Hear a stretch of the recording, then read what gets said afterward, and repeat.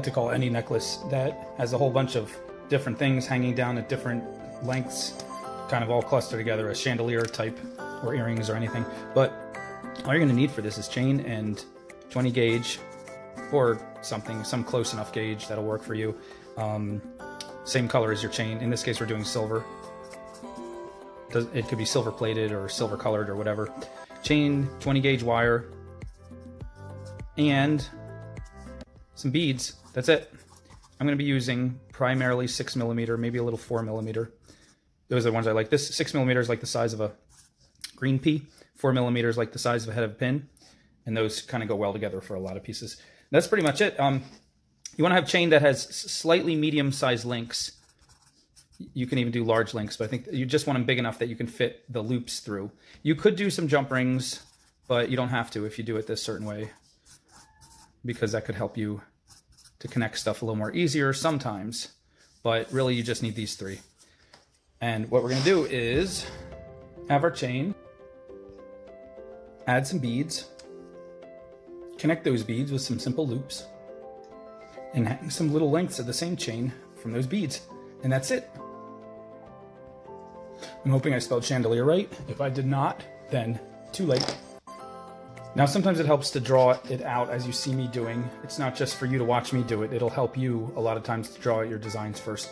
In this case, it's almost imperative. And you can get one of those little cardboard type trays that has like a necklace pattern that has like a 3D ridge going through it where you can line up your beads and it has the, the lengths measured out and and the sizes and everything and it has little trays for your beads and it's um, they used to sell those for anywhere from a dollar to five dollars. You can get them online. You can get them at the art store. I don't have one with me, so I'm just gonna make my own, and I'm gonna hope the beads don't roll around too much.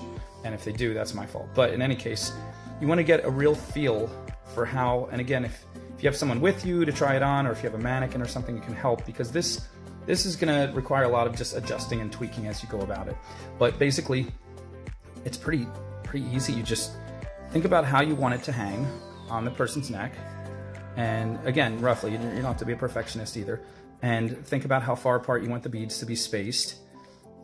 And um, just kind of go for it from there. Think about how many you want.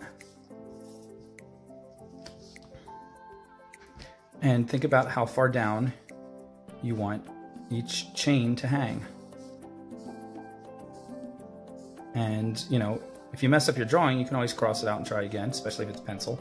You can always just, you know, kind of whatever, tweak it.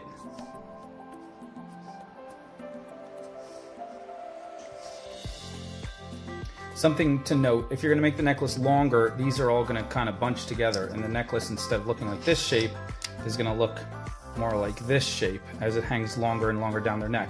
The necklace widens out as it gets higher up, as anyone who's ever worn a necklace will remember if they think about it. So if you really want these to be spaced a certain way, you want to think about having this pretty close to the collarbone. You know.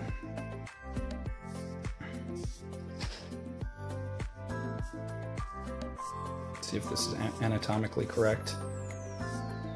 But even that is a little bit low. You probably want it like a little higher. I'd say like two inches from being a choker, two inches down in this direction, which is kind of four inches longer but something around there. But basically play with it and try to get it when you actually try it on someone, make sure they're hanging the length you want because that's going to make all the difference in the world. You could they could look beautiful on your table, and then you go to try it on someone, and they all bunch together like this, and it still it will look cool, but it won't look like the way you wanted it to look. So, but anyway, and then think about are you going to add little extra beads in certain places?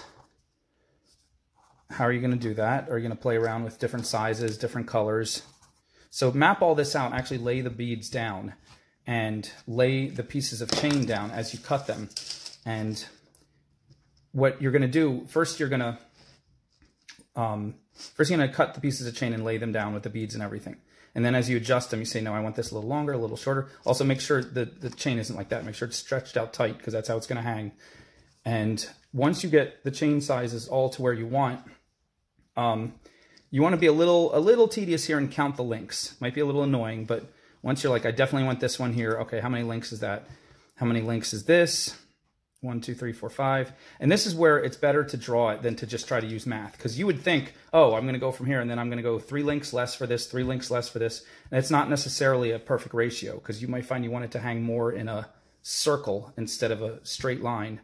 And so you, you your numbers between how many links are in each part might vary greatly. So you actually want to map it out on the paper and see if you visually like it.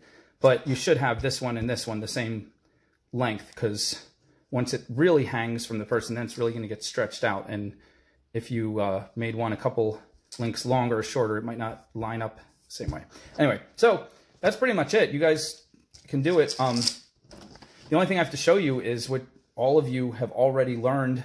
Well, obviously also count the, the number of links in between here where you connect this, where you connect each one. You want to have the same number of links in between so even if they're rolling around on your paper, when it gets stretched out, they're spaced evenly.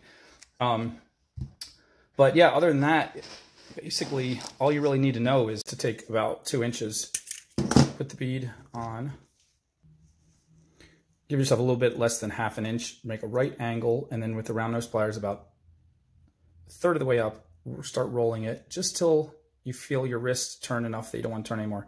And don't force your wrist, reposition, roll, roll, and then you get like a really nice little loop. Make sure you roll it all the way till it's closed. Squeeze it from this side, make sure it's flat and straight. Push the bead up against it. And then from the other side, make a right angle against the bead this time, as tight as you can. Try to make it tight. And I always like to have it going the same way as that bead. Again, cut a little less than half an inch. That's all you're going to need to make the loop right on the end of the wire, about a third of the way up the pliers, roll, and then reposition, roll, reposition. Sometimes you got to play with it a little bit to get the loop right in there tight. And if it's not completely in there, sometimes you just got to back up and rock it a little bit. But then you can also take your flat nose and just pinch it and make sure it's really good. And then make sure these are lined up going the same way because that's usually just a good idea. So that's the easiest way. There's one more way where you can take about this much wire and put the bead on the same way, right angle, and then roll it backwards. Make sure it's tight. And then push the bead up against that. Make your right angle against the bead again. And this time, hold the pliers like that, wrap the loop around the pliers, or wrap the wire around to make the loop. Roll the loop tight into, make sure you get it tight so it's the same as, as that one. That's not, that's not tight enough. We can go tighter. And then wrap around once like that, and then around the bead once like that, and then cut it right, right there so you can just tuck it right in.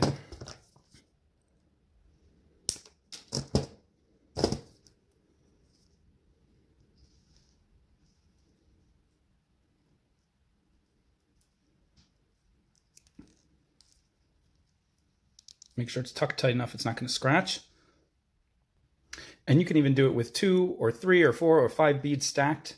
Do the same thing, you wrap around once and then you wrap around the bead, but then you go in the crevice, wrap around the next bead, and then finally around the loop. And then cut it and tuck it right in there.